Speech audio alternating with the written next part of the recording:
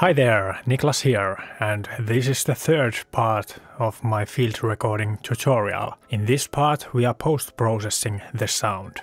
I'm going to use Reaper as my DAW, but of course you could use any DAW you like. If you are using Reaper, your screen may look a little bit different than mine depending on theme and layout. So I have this default Komala 5 theme and default layout. And I have this master track visible here, but that is just for my screen recording purposes, so you don't need it right now. Okay, let's get the audio imported. We are going to use the audio that we recorded in the previous part of the tutorial. We are going to cover different scenarios when editing the audio, but before that I will show you some controls and shortcuts for Reaper. Firstly, mouse wheel is zoom and you can click anywhere and zoom there. And with Alt plus mouse wheel you can move left and right. And if your waveforms are really small, you can press Shift plus up arrow to make them more visible and Shift and down arrow to make it smaller. This doesn't affect the volume. And one quick way to select any audio that you like is to right click and drag like this. Okay, so let's cover different scenarios. The basic one is that you just want to cut out the beginning and the end. Let's say that this is the slate that you recorded. So we want to start from here. We can drag from here, like this. Or you can click here and press S, which is split. And then you can click this and press delete. And now you have removed the beginning. You can drag it the beginning. Let's say that this is the end slate. You want to take that off. You can do it like this, dragging, or you can press S to split and delete. Then there is this scenario that you want to remove some part of the audio and then combine the remaining clips. Let's say that you want to take some of the wind out. Here is some wind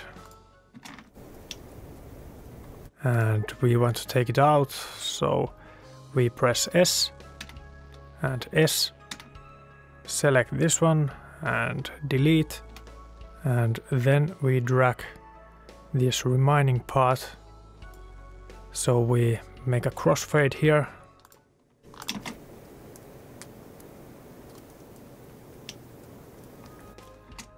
Not perfect.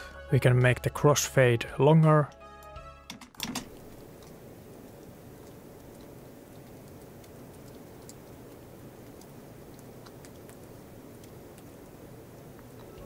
And now it's better.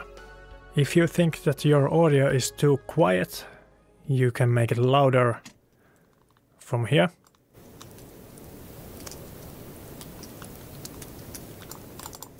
Or by dragging this here.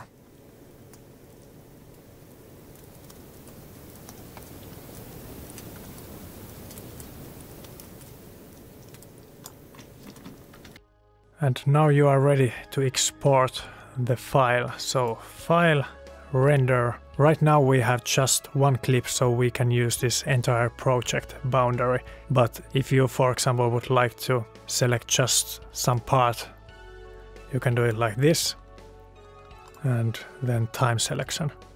But yeah, we can use the entire project. Let's remove the selection and then we write the file name and where to render and we select a sample rate. In this case we recorded in 96k, so of course we can use that. Or if we want to, we can make it lower, for example 48k. And stereo. And for the format, mostly I use WAV, because then I get really good quality audio. and then we render.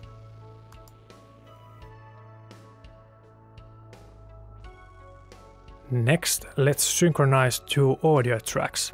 In this case, we are going to synchronize this track with the one that we recorded with Sony D100, but you could also synchronize your audio with some video audio. Let's remove this one. And here's the beginning of the track. And then we get the other audio file.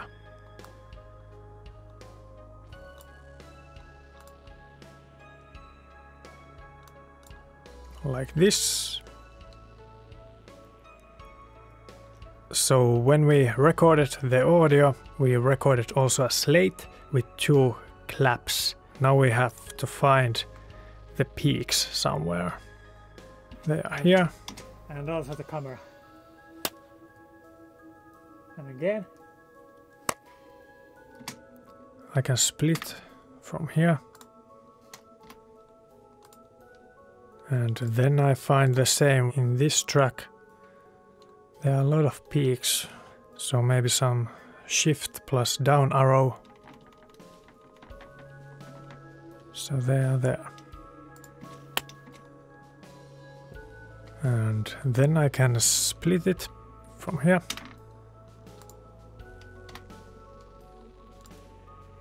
Drag it.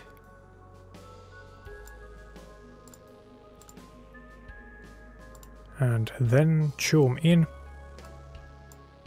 Let's take the snap off. Zooming in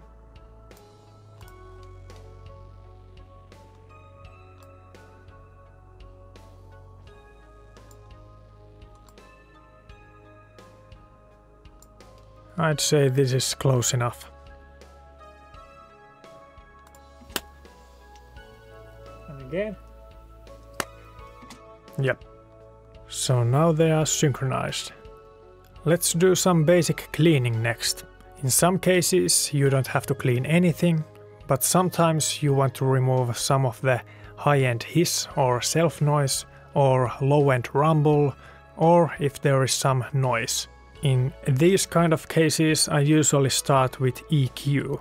So I open the effects window from here. I use FabFilter's Pro Q, but you could use any EQ. Let's move this here.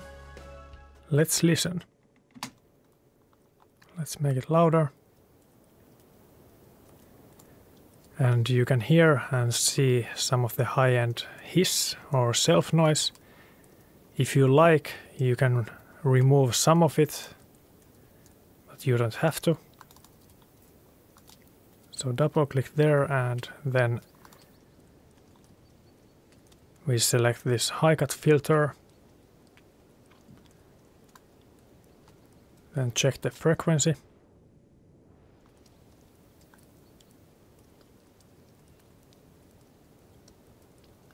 Don't take everything out. There should always be some of the high end. And then, if you like, you can take some of the low end rumble off. So double click there and low cut filter.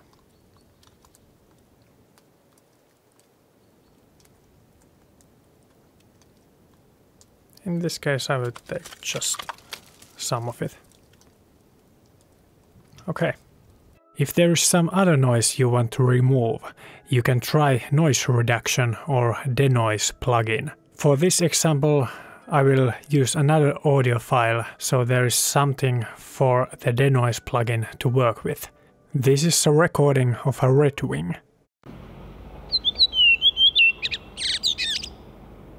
We can hear some traffic and other noise in the background. To remove some of the unwanted noise, I will use iZotope RX Voice Denoise plugin. You can of course use any plugin you have, but this is a good one. Let's try first the default adaptive mode, where the plugin tries to understand what is noise and what is not. Then we can try some options. What if it's optimized for music? Maybe not. I like to use gentle filter to avoid artifacts. It's better, but let's try more reduction. You can hear some artifacts if you use the noise reduction too much, so be careful with that. But let's push the plugin some more with the threshold.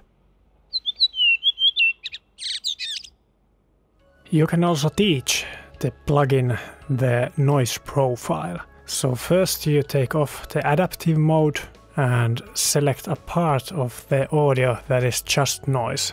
And then I will click the repeat button to make a loop as my audio selection is very short. Press learn and press space. And space again. Remove the selection and let's listen.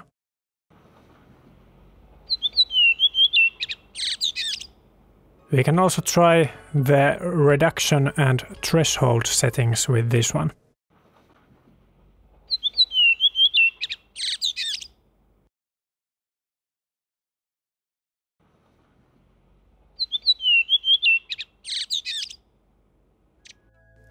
Let's say that you would like to lower the volume of some of your peaks in the audio. For example, this clap here. You can do it by using a limiter.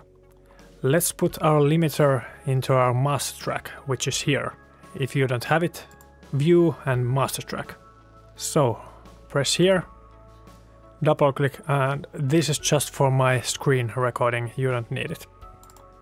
I use FabFilter's Pro L limiter, but you can use your own. And then to the output, double click, minus one. And now when we press play, it's limiting so it doesn't clip on the master track. Let's say that you would like to get the loudness of some of the audio clips same. Then you can use normalizing as a tool for that. So, for example, these claps here. We would like to get them at the same volume. This is now higher volume than this one. Let's split them. And right click and drag. Right click and item processing and normalize items. We can select the way to normalize. Let's use peak. And for now, let's leave this field like this and OK. Now it changed this a little bit louder than this one. So they are similar. Our track is now stereo, so it has two channels, left and right. If you would like to have it in two mono tracks instead, you can do it like this. Zoom out, select everything, right click, item processing, and explode multi-channel audio or MIDI items to new one-channel items. so we can listen.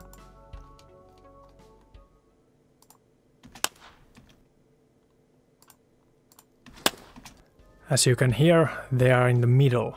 And if you want to make two mono tracks act as a stereo, you can do it by panning the left channel to left and right channel to right. That's about it. This was my field recording tutorial Remember to subscribe and like. Enjoy!